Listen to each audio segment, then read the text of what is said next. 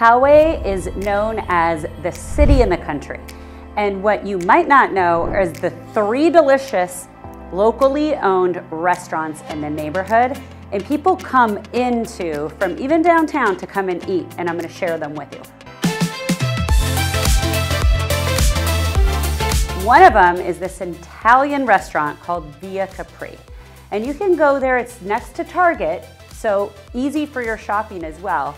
Enjoy delicious sea bass, which is one of their signatures, a nice cocktail, and a nice ambiance. Number two is Addy's Bistro. That's in the Poway Business Park, and they have the most delicious paninis, and the staff is so incredible. They do a lot to give back to the community, so check them out for lunch.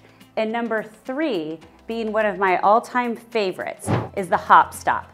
That is located on Midland, also locally owned. And what's cool about them is they now have live music and it's family friendly. So the outdoor space, they have nice turf space, an open bar warehouse style, and the kids can run around and enjoy it. And that's really what Poway is all about. It's a family community, and these three places will not only suit your date night needs, but also more than welcome to bring your kids with you.